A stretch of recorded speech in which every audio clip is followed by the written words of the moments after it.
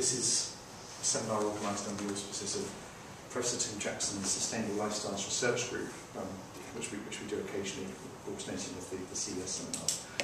And one of the um, most interesting projects in that whole programme, which is funded by DEFRA and the Scottish Government, you're going to hear about from Emily Creamer, who's come all the way down from the University of Edinburgh. So welcome, Emily. Thanks very much for, for joining us.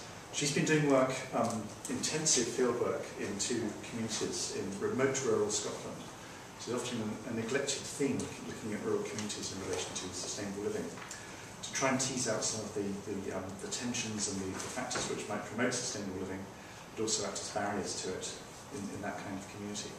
And we think this is one of the most interesting in-depth pieces of, of ethnographic work we, we, we, we've had in the last few years um, in CS and it's part of the network. So we're looking forward to hearing from you and linked. This is work in progress, as she will stress, um, but there are already some really fascinating issues coming out. And um, in the audience we have Alexia Koch, actually, I draw attention to Alexia, who's finishing her doctorate on transition towns and the dynamics of, of their memberships and community links. So there, there may well be some, some nice interplay there. But you're very welcome to speak. Thanks for coming. Thank you. Hello. Um, yes, I am Emily, and uh, I am doing a PhD. So mine's uh, one of two PhDs that are in uh, SLRG, um, and I've just gone into my third year. So I've done the bulk of my um, research, my kind of field work. Um, still got a little bit of interviewing to, to do, but um, what I'm going to do today is give you, I've never had this much time to speak about my PhD, so I'm going to indulge myself and tell you um, a lot about my PhD in general, and then um, try and talk a little bit about the paper that I'm trying to write at the moment, which is this double-edged sort of grant funding um, for community uh, initiatives. Um, so this is kind of the outline of what I'm going to talk about today. So I'll just go over my aims um, and the rationale behind those aims, uh, a bit of the background to uh, what, what Rural Scotland is and how we define it, and uh, looking and also tell you a little bit about the specific policy mechanism that I'm looking at, which is the Climate Challenge Fund. Um, then I'll talk about my methodology. Um, I'll give you a little insight into kind of some of the observations I've obviously got that you'll see from my methodology. I have uh, produced a lot of observations. It's all um, ethnographic, so I have a lot. But I'll just give you a little uh, flavour of that.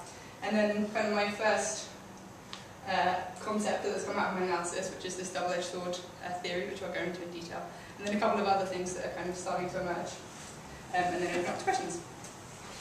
So these are my two aims, um, very broad, which is kind of purposeful, as you'll see from I'm using a grounded theory approach.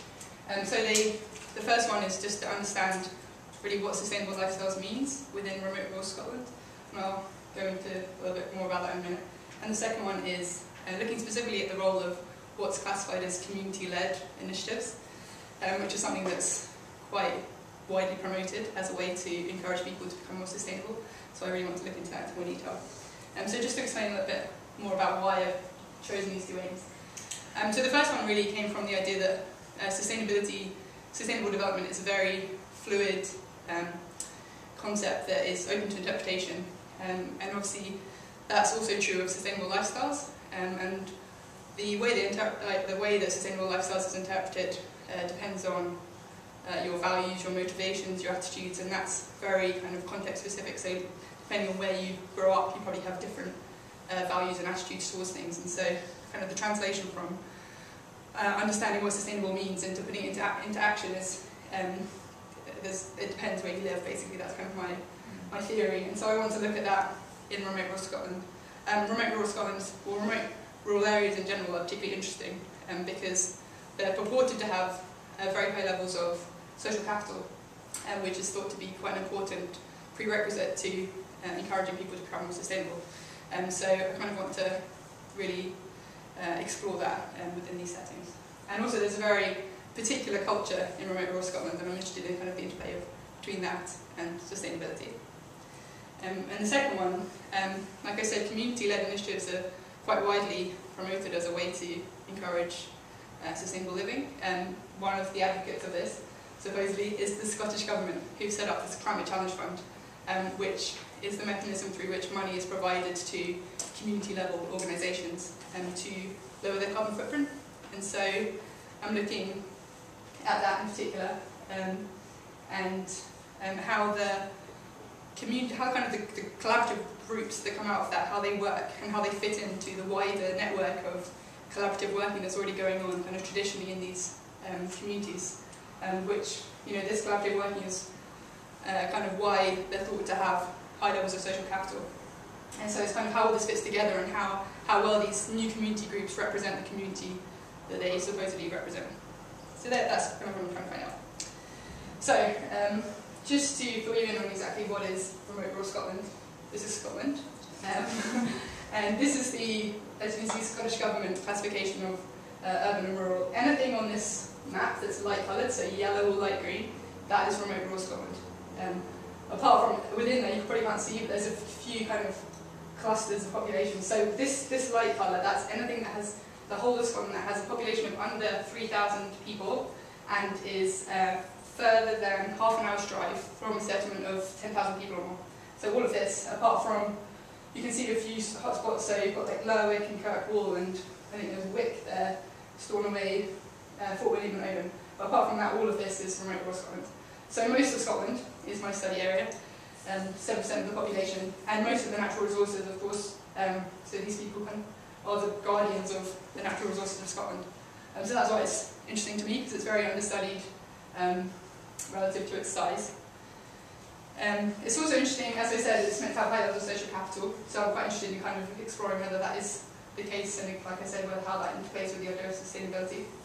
Um, also, although there is no data for the whole of remote rural Scotland to kind of say whether this is or isn't the case, it's kind of assumed that people living here probably have a slightly larger carbon footprint than their urban counterparts um, because of the distances between people and things, and so things have to be transported a long way, and people have to be transported, so they need they rely on their car more than people in cities do. Um, need to import and export things from the islands. Um, also, the uh, infrastructure uh, tends to be, or the housing particularly tends to be older. You don't get kind of new builds of high-rise flats, which are all wonderfully um, insulated and energy efficient. So there's quite a lot of old kind of cottages which um, seep heat all the time, which are hard to retrofit. Um, also, uh, socio-economically speaking, this these areas are uh, under a lot of pressure. Uh, obviously agriculture is a big part of their economy and that's uh, in decline um, and so employment opportunities are dwindling, uh, young people are moving out looking for um, education or training and then uh, finding jobs elsewhere and not coming back and so there's quite a big problem with an ageing population in a lot of these places. Um, the investment in infrastructure isn't great so um, public services like um, public transport, buses and train services don't exist in some places and where they do they're a bit patchy. So just generally quite interested in this area. Um, and then specifically what I'm looking at is the role of the Climate Challenge Fund. Um, so the Climate Challenge Fund was set up in 2008. I don't know how much you know about uh, Scottish politics, but uh, the SNP at that point had a minority government, so they had to form a coalition uh, with some of the other parties. And one of the ways they got the Green Party, the Scottish Green Party on board, was to agree to the Climate Challenge Fund, which is a very green idea, which is to provide money for community scale projects to reduce their carbon footprint. And that can be anything. It can be anything from uh, making a building more energy efficient to um, buying a bit of land to grow vegetables on or buying some bikes for the local people to uh, rent. Um, so it can be li literally anything. You just have to prove that you are part of a community group and you fill in an application form and they decide whether or not you get the money. Um, and it's basically worked out as about £10 million a year um, since 2008 that's been provided, and they have, since they got their majority government, um, they've decided to extend it. So um, it became very popular, um, a vote winner, some people might say, um, amongst certain people, so the SNP decided to extend it to 2015. Um, so by that time they'd have invested uh, about 70 million pounds in this project. So again, I'm interested in kind of whether it's working, I suppose, and um, how it's working really, um, how this really, um, what it looks like in real life. Okay, so the way I'm going to do that, um, because I'm, I'm looking for kind of deep, rich data rather than um, universal, you know, I'm not trying to find out what sustainable living means in general, I'm really interested in these specific areas, and so I'm taking a, a case study approach. Um, so I've picked two communities which um, are currently in receipt of CCF funding. So they've got a group that is active at the moment and has ongoing CCF funding. Um, and once I found them, I went and lived there for two months, uh, volunteered full time um, with the organisation, um, did whatever they wanted me to do within reason, and um, uh, and just watched everything that went on. Um, I had a, a research journal, that was the main way that I recorded my data, so I, um, in both cases I ended up being based in the office most of the time, for reasons that I'll go into later, um, and so it was quite easy for me just to have my laptop open and I could just uh, take notes all through the day, um, which means I had a lot of notes by the end of uh, two months. Um, and also, once I'd kind of been there for a while, I then uh, set up some interviews with people who had got to know. So the idea was I'd kind of built a level of trust and maybe they uh, felt more relaxed around me and so they kind of opened up a bit more. Um, I was able to kind of probe them a little bit on the things that I'd observed. And so it's, it's, it really allows you to kind of get beneath the surface of kind of what people consciously know about their everyday life and it's kind of, you get this um, called an insider and outsider perspective. So although I uh, am not part of the community for a couple of months, I kind of am to an extent. Um, and it was very much open. Some people, there was no covert uh, spying on people at all. Uh, I went there beforehand and everything was agreed. They knew what my project was and uh, the group uh, were happy to have me there and help me out um, as much as they could. And so the approach, like I said, is a grounded theory approach. So I didn't construct any hypotheses of what I was expecting to find before I got there. Um, the idea was grounded theory. I should say it's not an orthodox grounded theory method approach. So I'm not, you probably will find holes in the way that I've done it in terms of what Glaser and Strauss would maybe um, say you have to do, but I've taken kind of grounded theory as the foundation of how I've built my methodology, um, which is basically I went in there and allowed my uh, hypotheses to emerge from my observations. Um, so I, as you start, after a few days, you start to notice things and you start to uh, start to, uh, um, to theorize about certain things, and then you kind of go in the next few days and you see whether that is true, and slowly over time, you should hopefully develop some idea, you know, some theory about what's going on. Um, and so uh, this quote, you know, it's just kind of meant to be a very kind of organic process of um, developing a theory based on reality.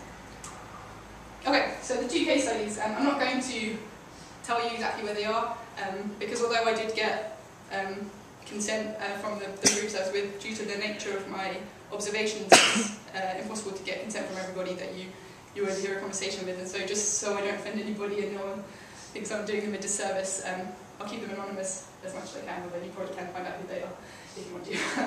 um, so the first one was an island. I was there last winter, which wasn't as bad as you might think. it was um, it was probably about like this most of the time. Um, population of uh, just under 1,500 people. And these are just some facts, just to kind of give you a flavour of what the place is like. So you can see there, uh, about 60% of the population speak Gaelic, compared to the national average of 1%. So pretty much all the Gaelic speakers live um, here. and um, uh, fishing is still quite a big industry out there uh, compared again to the national average. I think pretty much all the fishermen live there. Um, and this is kind of just to see whether the theory of more people owning a car, you can see slightly more people do uh, own a car, um, but not massively so. But that's probably more testament to the fact that everybody owns a car now anyway. Um, and the CCF group that I was um, working with, they've received uh, just under a quarter of a million pounds over two years. And that was mainly for um, a set of two different types of trials. So one was looking at, like I said, these old style cottages um, are very hard to insulate in retrofit. So they had a, a, project where they were trying to figure out new ways of insulating them. And the other one was uh, growing trials. So the soils here are quite poor and it's quite difficult um, to know which crops will work the best. And so they did a, a series of growing trials to try and inform local people what would be the best thing for them to grow at home. Um, and then they had various other additional things that kind of supported that. And the second one was in contrast the lowland uh, case study. So this is uh, just north of the border between England and Scotland. Um, I did, went there in uh, spring this year. Um, slightly bigger population, very different settlement. So the island's a very linear settlement, very spread out, um, whereas this is very much a clustered settlement around a high street. Um, you can see here, got a high retiree influx, so um, much more pensioners here than the national average. Um, this is just to show you quite a few people do migrate here, mainly from England, because it's just north of the border, like I said, so uh, less people born in Scotland than the national average. Um, and it's also got a thriving tourist industry. It's kind of a, a, pit stop on the way to the Highlands, uh, for people coming up from England. Um, so a lot of people employed um, kind of hotel and restaurant business. Um, and the group here had been running for a bit longer and received nearly £600,000 um, from the CCF. Um, and their main project, they converted this old um, fire station, I think it was, into a recycling shed. And what they did was they went around and collected um, cans and cardboard and paper and brought them back here, uh, crushed up the cans, um, baled the cardboard, and then sold it to somebody to recycle. Um, and then they also had a big garden where they offered um, community allotments for a small fee, and uh, they also had uh, kind of growing demonstrations. So they, like similar to the last one, they would show what things grew well and you know give people ideas. And they also had a, a quite a big furniture restoration business really that they were developing. Um, yeah. So um, what I'm going to do is just present a few of my observations. Um, I'm just going to do them around my two aims, loosely. They're not exactly, it's quite hard to categorise the findings. But um, So this is the first aim, really kind of trying to understand the lifestyles of the people that live here. And so what I've got, lots, of these are, the quotes put up, they're either from interviews or from my research journal. Some of them are quite wordy, I've tried to pick out some of the key bits, but sorry, can't read it. um, so this quote really is just um, an interview I did with a guy who um, was, uh, I was talking to him about uh, what people in the islands want from their lives, and he was saying, we want the same as everyone. You know, it, it used to be that we were crofters, but now uh, the kids, you know, they see everyone um, kind of, they're motivated by money now as much as anybody else is basically what he was saying. And um, crofting just doesn't cut it for them anymore. And they want stuff. They want holidays. Um, so that was interesting to me. Um, kind of goes on with the idea that kind of uh, agriculture is in decline and there's a real transition in the lifestyles of the people who, who live in these areas. Um, this was an email uh, guy I got talking to who uh, was a sheep farmer and he he wanted to send me this message about, because I was talking to him and he was like, oh, I'll send you a message about it. And he wrote me this huge long email about um, his life and how uh, it's kind of, it really fits in with this idea. There's a lot in the literature about how the rural area, rural communities are kind of in this position between on one hand being this idyllic, wonderful place to live where it's all peace and quiet and tranquility, but then on the other hand it's actually extremely challenging and hard work to live in rural communities. And so this really kind of echoed Dan, who was saying being a farmer is it's really hard now. Um, you know, there's there's so much to adapt to, and um, he sees before his eyes like the farms disappear and uh, the development of the land. Uh, you know, land being used very differently to how it used to be, and he's finding it quite tough. So um, yeah. Um, okay, and then the second thing um, to do with sustainable lifestyles, kind of this idea of the interpretation of sustainability is um, um, sustainability of the population. Um, the definition of people who live in these communities sustainability is, um, is sustaining the way of life there. So it's not about making your lifestyle more sustainable, it's about keeping people there in order to keep having a lifestyle. So it's, it's a much more literal idea of sustainability. Um, and it, it, again, it echoes uh, this idea that all the young people are moving out and it's old people moving in, and that's not sustainable. Um, they're losing people, they're losing intelligent people who um, are moving to cities, and so there's no one to develop um, these rural areas. Um, and that was a common, a common theme when I spoke to people about sustainability. And then the third thing to say, this is really um, mainly from the island, is the idea of sustaining not just any lifestyle, but a very particular lifestyle.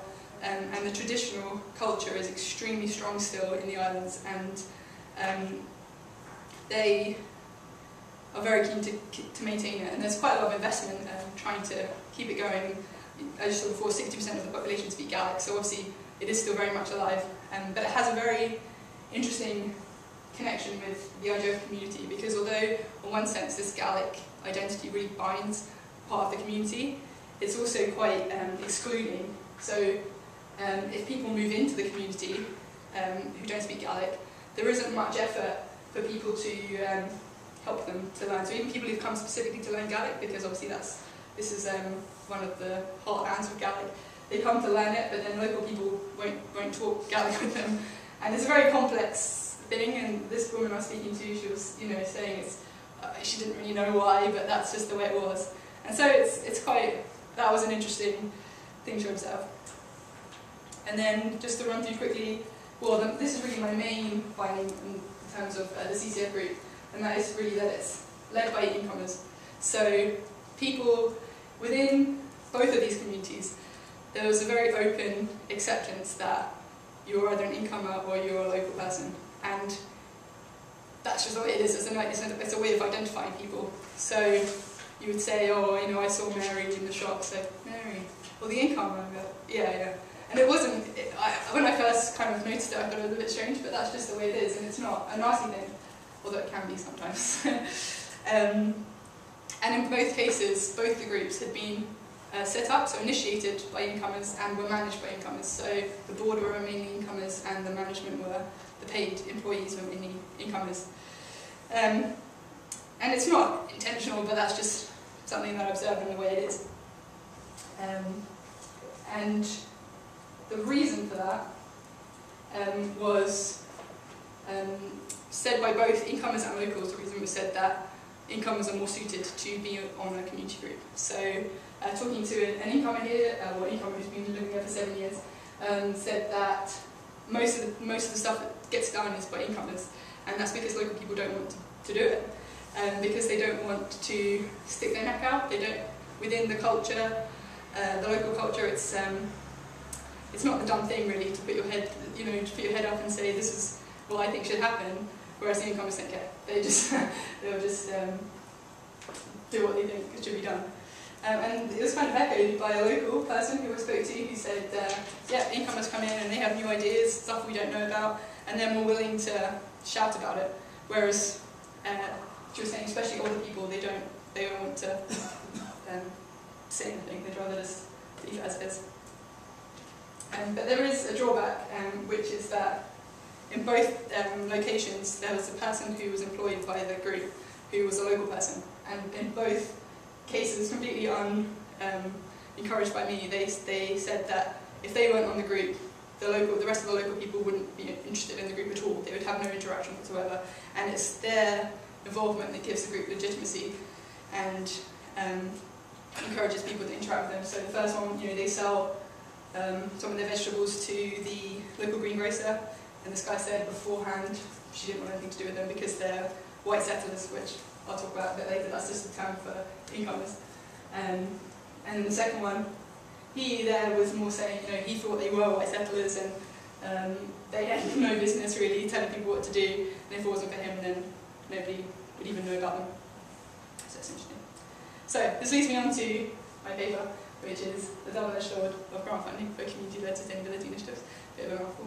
The title's the best bit, so lower your expectations.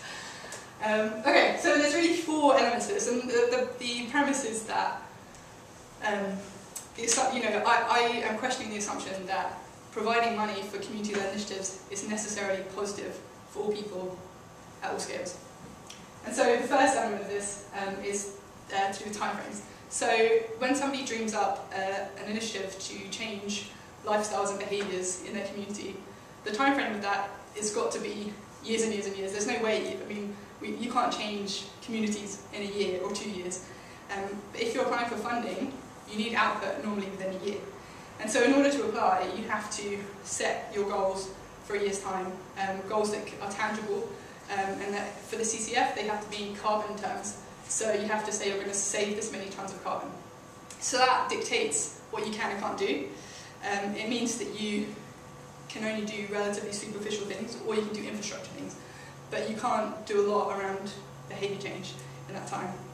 Um, and it means that from, from that, uh, because of that, it means that uh, local people, the, the rest of the community, start to understand that groups like this don't stick around very long because they have a couple of years of funding, um, the funding dries up, they, they then have ended what they were doing. And so uh, one girl was just saying, you know, I, uh, I hope they're still here, but I've, I've seen it before and they probably they won't be. And another guy was much more cynical and he was saying, they won't be here, you know, give it five or six years and they'll be gone. So what's the point of me really um, investing anything in this? Um, they won't be around. Um, the thing that comes along with that is that if you only have short-term funding, you can only provide short-term employment. And so, as I was saying, uh, they tend to be um, kind of dominated by incomers, and that's because a lot of people who move in maybe are more affluent, they've moved in because they've retired or uh, for kind of the good life, and they have a bit of money behind them, and maybe they don't need um, a regular income or they, they can risk not having a job next year. Um, and this was when I was there because the, the Island Group, they only had their funding up until March of this year and they were reapplying for funding and in order to fit with the money that was being provided, they cut someone's job out of it. And the girl who was actually doing the application cut her own job out of it for next year. And you know, someone was asking her, what are you going to do? She was like, I don't know, it'll be alright, um, I'm sure it'll be fine, but I have no idea what I'm going to do next year. And so if you were somebody who needed a job next year, then you wouldn't be able to be involved. So it is, um, so it's, it's uh, excludes some people, and so it just starts to make me question, you know, are they really um, as uh, you know open to participants as maybe they could be? Um, it's not equal necessarily for everyone to be involved.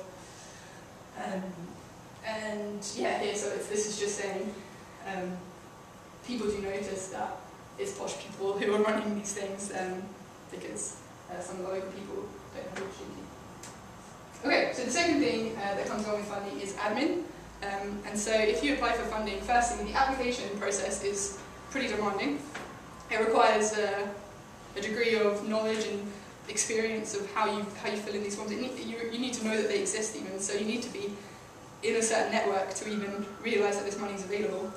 Um, it also means that certain types of people who maybe are skilled at writing forms or who enjoy doing this kind of paperwork um, apply, and they, the ones who are more skilled at it, get the money rather necessarily than the people who are the most deserving. So there could be somebody who's extremely good at on the ground, face-to-face -face engagement, not very good at filling in a form, doesn't get the money. Um, so again, this just makes me think, is this the most, is this the fairest way of, of giving out money? Um, and so then, once you've got the money, there's then uh, continual pressure throughout the year to keep reporting back. You have to provide um, certain reports throughout the year.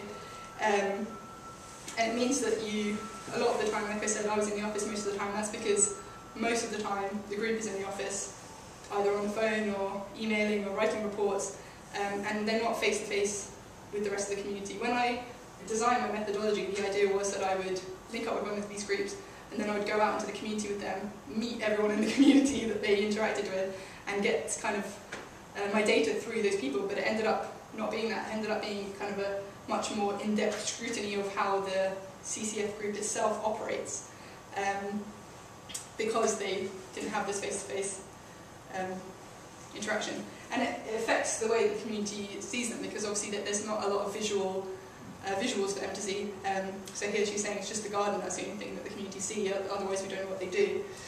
Um, and here, uh, a guy who'd written a letter who was saying, I, I don't understand why you've given so much money to this group. Um, they haven't done anything more than they could have done just by talking to people. Why haven't they just talked to people? Um, which, to be fair to them, I, you know, they did try and do, but uh, they didn't. They, they, they did a lot of paperwork so they didn't have the time. Um, so yeah. Uh, then the third thing that comes along with uh, funding is uh, how that is perceived by the rest of the community. So when a local person sees uh, half a million pounds being pumped into his community, um, but he sees no benefit from it, it starts to build, he starts to maybe uh, have some kind of resentment towards the group. So this was an email somebody sent me, again out of the blue, this was nothing, I didn't, I didn't even know this guy. He found out I was doing this research and he got my email address and emailed me and said, um, you shouldn't, you need to know this group isn't as good as they think they are. A lot of people think that they're um, basically pretending to be very benevolent, but actually they're uh, quite calculating and business-minded. Um, and so he, he thought it was very unfair what was happening. Um, also, because of the fact that a lot of these people are incomers, um, Sassenachs, that's a Gaelic word for like English person. So um, here, or not even, I think it's just, yeah, well, uh, someone not from the islands. So um, people kind of actually say to their faces, it's not fair, you're coming up here and getting all our money, getting the jobs, why don't, why don't they come to local, why doesn't it come to local people? And so, because of this income and the local uh, kind of divide within the community group, it means that, you know, by the, by the community group not, uh, by the community group apparently getting more money than the local people, then it kind of deepens the divide between the two, um, which is a little dangerous. And then the fourth and final um, thing that comes along with uh, funding is that it turns community groups into competitive organisations. So instead of everyone getting together and thinking, oh, what can we do about this, it becomes a fight for funds. And so this was uh, an interview I did with a, a woman whose job title was, I think, community coordinator or something for the local authority. And her entire job was to try and get people to talk to each other, was to try and get them to work together. And she said a lot of the time that's impossible because uh, they they keep their cards close to their chest, they don't want to let, so she'll go and she'll say, oh, like what's happening, what do you think you're doing? And they don't want to tell her in case she goes to another group and says, oh yeah, that group's doing that, and then they steal their idea and get the money and they want the money. And so there's this real battle for kind of who has the authority to deliver certain things and therefore gets the money for it, which is interesting. Um, also, it means that people are doing the same thing um, in order, and, and not working together, like kind of working in opposite directions but on the same project um, so that they get more money. And so uh, there was one example when I was there, which was that they were um, starting up a local, the group I was with wanted to start up a community radio station. And it was all very exciting, and we'd started a Facebook group and blah, blah, blah, it was great. And then I went about a month later I had a meeting with another community group, and they were starting up a radio station. And they had absolutely no idea that they were both doing this. And then I, so I came back to my group and I said, do you know that they're doing a radio station? And they said, no. I didn't tell them any of our ideas, did you? no one told me the ideas, but you should work together, you know, it's one, one community, one radio station, but um, doesn't work like that. Um, and equally, this guy I was talking to, uh, talking about development officers. So within the island, which had a, well, within this, the string of islands, which altogether had a population of about 3,000 people, they had 35 development officers, all with the same remit of developing the community. They didn't work together, they worked independently. And so this guy was saying they're all being paid a salary. He took all of that money had one development officer and then put the rest of the money into infrastructure, or he was involved in the fishing industry, so he was really interested in kind of improving the fishing industry, like trying to give it a bit of a brand name or something so it'd be much better for the islands um, in terms of sustainability to do that rather than invest in these development officers. So, okay, so that's the end of that paper. So this is just my other emergent ideas. So, there you go. So the first one is called The Chicken or the Egg. I'm quite into my titles, I spent quite a lot of time. Um, and this one is really um, about whether uh, a pre-existing community starts a community group which represents the whole community and then does something on sustainability, or whether an action group starts up to do something on community and that for, uh, sorry, to do something on sustainability, and that forms a community. So it's not necessarily the same community that is uh, forming the group, that they are geographically meant to represent, if that makes any sense. So, for example, the CCF groups are not a community, are not a representative of our whole community, which they are supposed to represent. Instead, they are definitely a community, but they're a community that spreads across, so into the Scottish Government, into other community groups, um, and it's, it's a very strong network, and they do a lot of good stuff, but it's slightly misleading to say that, um, that the community is the geographic community and it can actually cause resentment. So people, like I was saying with the funding, so if people think this money is supposed to be for their community, but it's not coming to them, then it makes them resent this group. Whereas if there was some way of defining the, this community-led group as a community in itself, then maybe that would solve some of those issues. Um, so yeah, so that's something I'm trying to work through at the moment, just kind of like the construction of community coming from the funding rather than the community already existing and getting the funding. Um, and then the second one is kind of this idea of the white settler. And so while I was in both communities, uh, uh the, the, the, kind of um, history of a white settler, which is somebody coming in, well, I don't know how much you know about Scottish rural history, but they have a, quite a tumultuous history with people coming in and kicking them off of their land, and it, there's quite a lot of um, not aggression, but like um, I don't know what the word is, but they're, they're very, they're very um, sure of themselves and they don't want people coming in and telling them what to do. And so this is very um, early in my development stages of this theory, but um, it's just to really kind of figure out whether a group run by incomers is counterintuitive to the whole idea of community-led uh, initiative. You know, does it matter that these groups are, are led by what are termed incomers by the rest of the community? And I, I don't know yet. Um, but it's, it's got a very interesting interplay with this idea of the white settler and um, whether this kind of long-standing history of resenting um, people coming into town to do affects that. So that's that one that's coming in the future. So my last bit of fieldwork will be done in the next couple of months. Um, I'm going to go back to the two case studies, um, do some interviews with them, um, try and kind of explore these themes with them in a bit more detail. Also just to observe what's happened to the group. So the one that's lost funding, it'd be interesting to see what's happened to them um, over the last year or nine months. Um, and then also I'm going to do some interviews with the CCF. So I really want to understand why the CCF was set up, um, apart from political reasons, and um, whether they think the project, whether it's going well, whether they think it's they're achieving their goals through the CCF. I mean, they must to a certain extent because they've continued the funding. Um, I kind of also unpick my themes with uh, project officers, which are kind of people who are more on the ground and uh, communicating with the um, the group themselves. So that's it. Thank Um, you. Emily, thank you very much indeed. There's a lot of food for thought there, so you'd like to kick off with, with any comments. I've certainly got some food. Yeah. Um, thanks very much, Emily. Really, really interesting. Um, just, it seems to me that the uh, an interesting question you're raising is how do you define a community? So we're talking about a geographic community, but then what you'd said was even then, if you're including incomers and locals, even then that isn't a community, you know, outside of the, the, the project work. yeah. Um, so have you had any thoughts about what, what, what would you define as a community? Um, no, I mean I've obviously done a lot of reading. There's a lot of literature on trying to define what a community is. I think it's pretty much impossible to define to kind of have a universal definition of a community. I think it absolutely depends on who's involved. There's some music coming out. I don't know if anyway, um, I think um, the idea that it's just networks, you know, uh, kind of relationships between people, between a set number of people. I think that's really what makes a community. So the groups themselves, I think, are communities because they are achieving something through the networks that they have. But it's not the same. And I think that there are geographical communities. I think you can say this is a community. It's just a different type of community to maybe the CCF group. And so it's, it's not necessarily, it's not, I don't know how, it's so hard to put it into words, but um, I think just by living next door to somebody, you do have some kind of shared identity and some sense of local community. Um, especially in these rural areas, I think that is true. I mean, it's, it's much more distinct. You know, maybe you live in a city and the definition of your community is quite hard because it's so sprawling, whereas in both of these areas, they, they knew the boundary of their geographic community.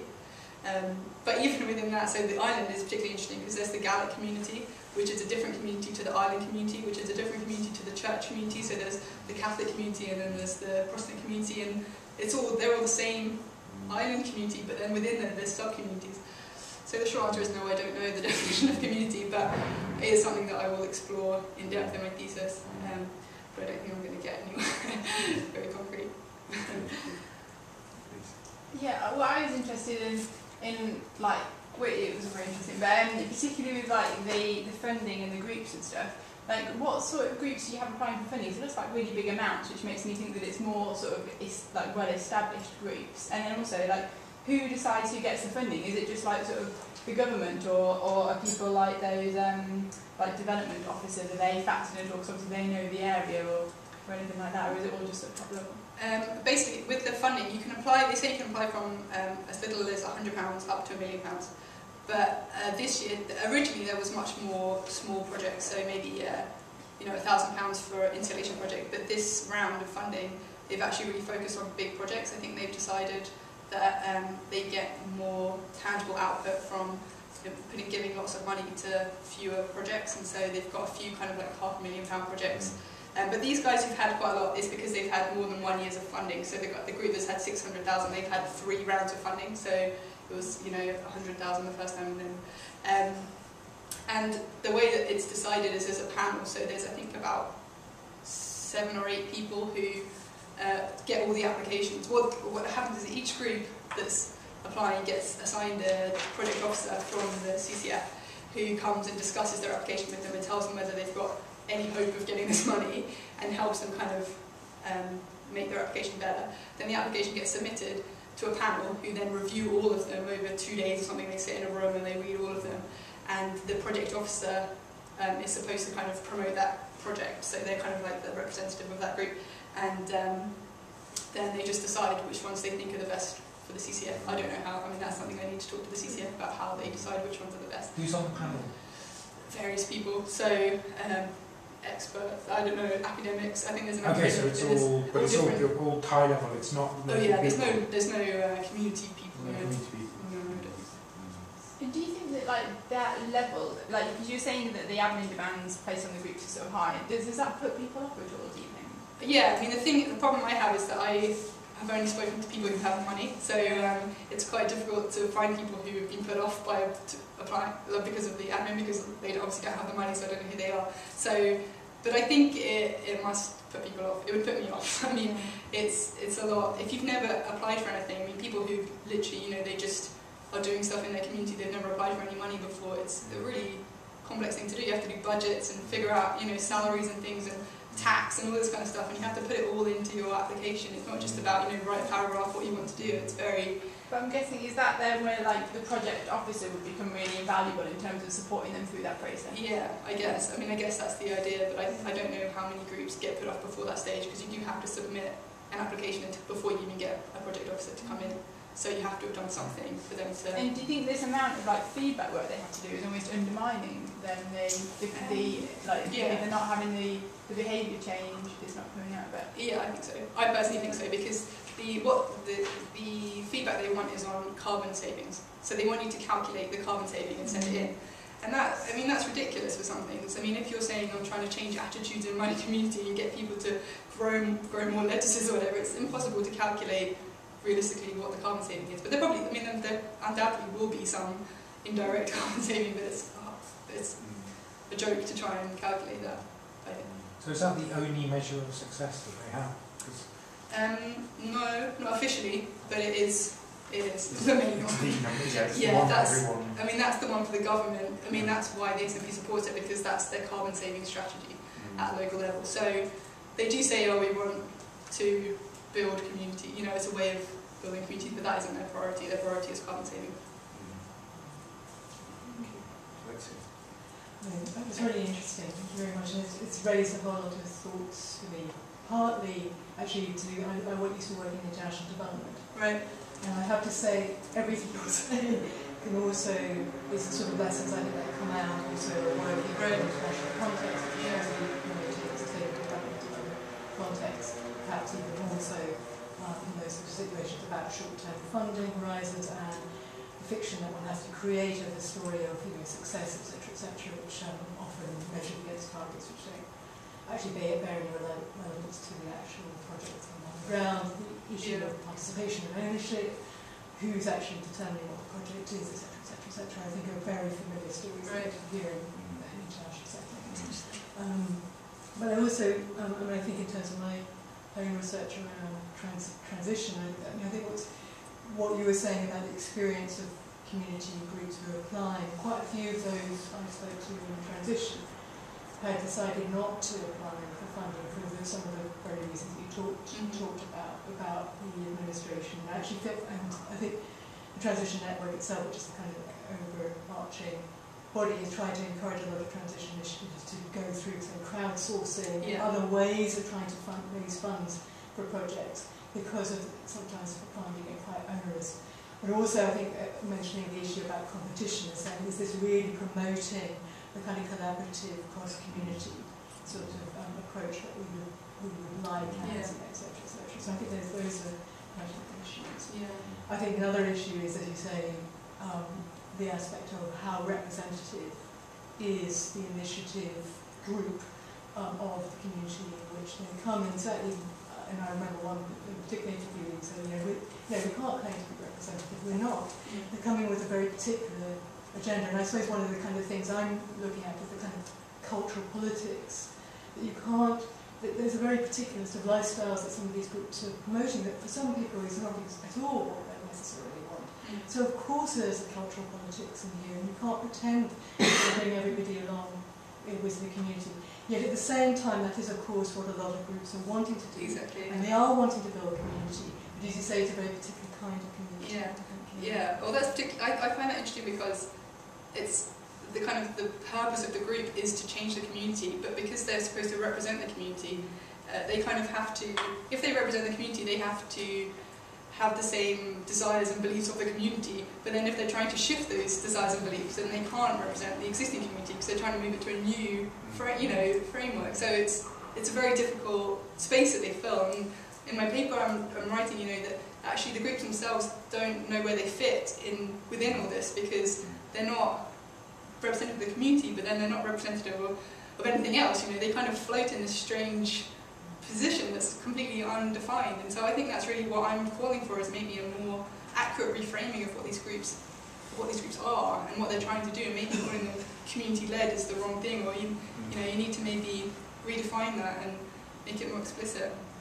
I think, I think the trouble is that, as you say, the, the kind of policy context is such that you've if you start bringing up the kind of politics that are happening at local level around it, that actually you endanger the funding. So there's a difficult, there's a chicken and egg aspect of, as you say, if you actually rely on funds for existence, which not all community groups do, as I say. But, um, but I think a lot, that's the traditional model of creating um, of, of project running, etc., etc. So yeah, it is a difficult one. Yeah, it is. It's interesting to think of the rationale the Scottish Government had when they, they set this up. Yeah, Lurking behind this analysis is the idea that there might be a kind of romantic concept of community driving urban policymakers who think that there's some kind of fairy dust in, in yeah, rural communities, which means there's an automatic level of built-in propensity to collaborate and to work in a unified way, which Yeah. really isn't true. yeah. I mean, before I went in, I you know, I had my idea that I was going to these community groups and they would all be so happy and benevolent, and I wasn't expecting to find any kind of, you know, uh, malicious thoughts involved. But it's the opposite, you know. Actually, you know, and, and talking to people, they say, well, of course, it's a very claustrophobic environment. You're stepping on people's toes.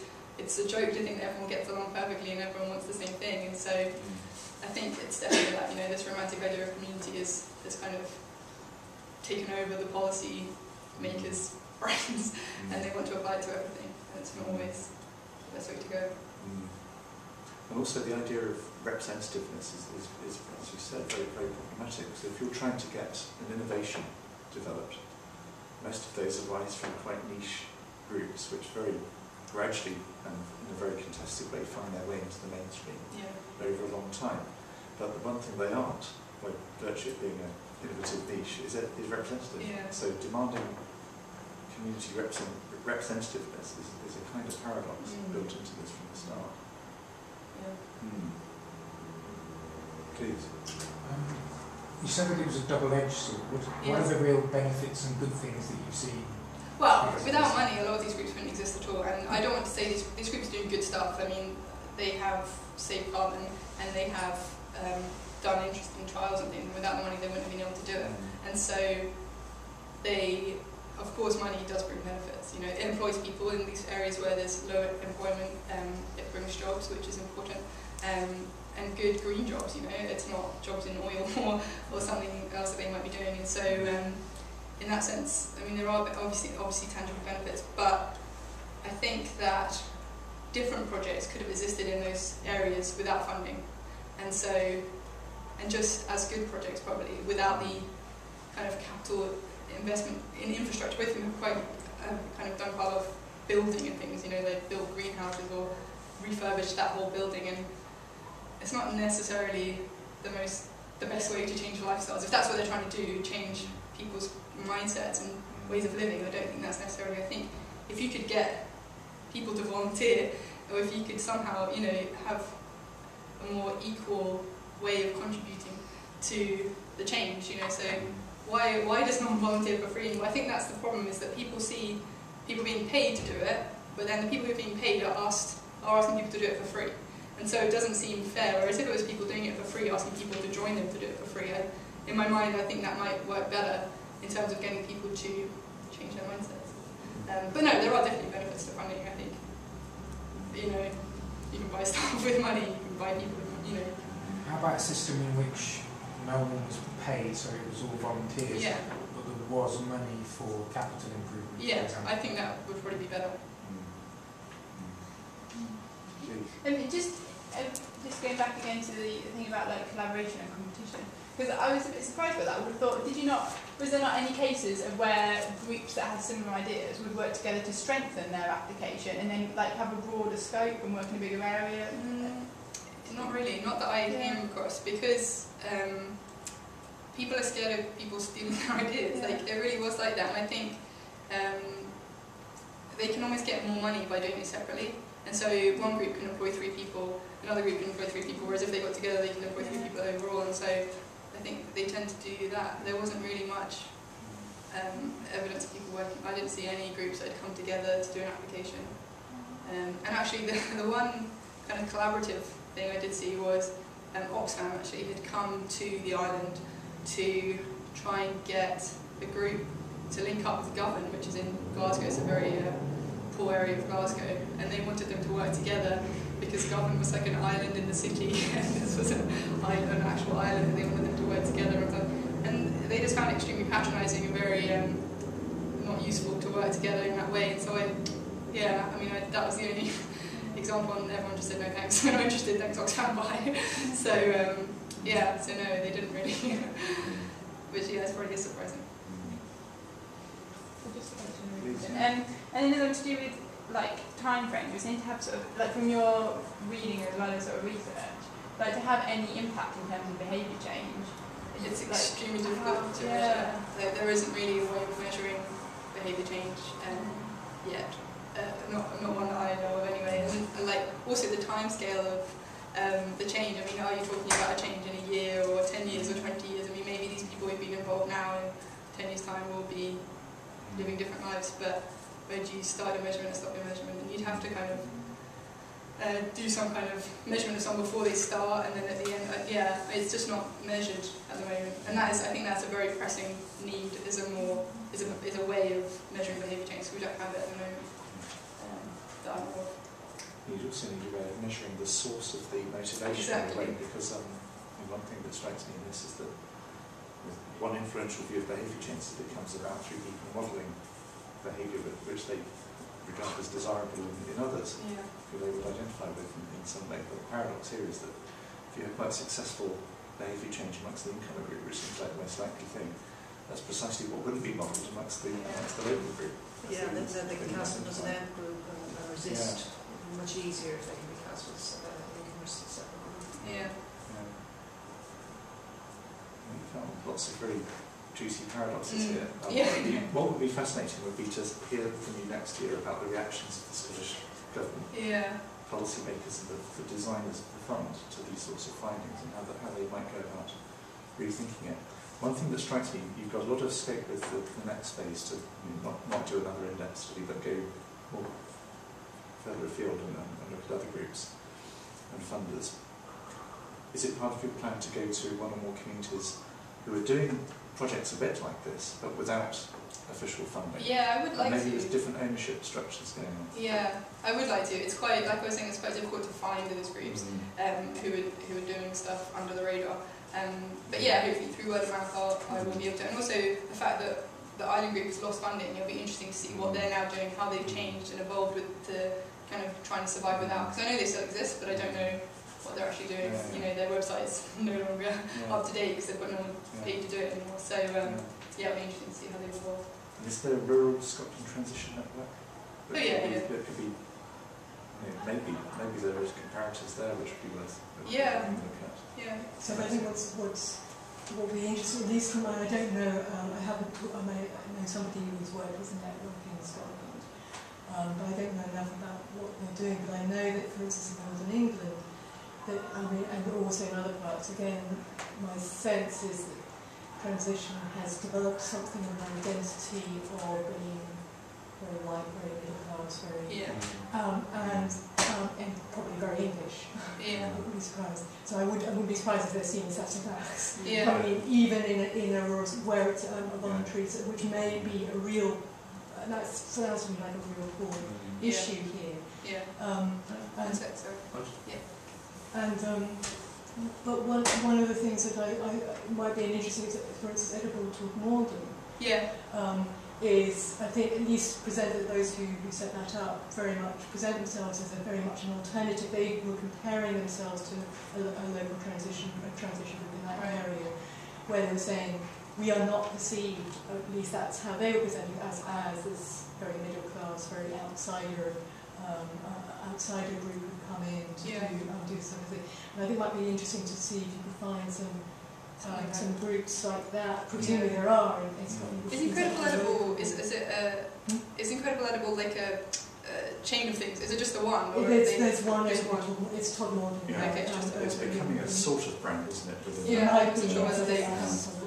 There's Yeah. one or two I think Right. they're trying to set up. Yeah. yeah, maybe getting kicked off. Yeah. The other network, just finally, might be worth thinking of, there's the Sustainable Scotland Network. If Yeah, yeah. You, you've got people there who are sort of on the boundary between academic research, community Yeah. development and you know, official Yeah. funding, so Yeah. there, there might be interesting contacts Yeah, that's there. true. I'll probably yeah, go through that. Anyhow, well, we'd love to, I think we should get you back once you've finished Yeah, the next yeah. phase of field work, once you've got some responses from the Scottish Government. Yeah, it'd These- these, to these see. are really rich findings. So thank you very much for coming down.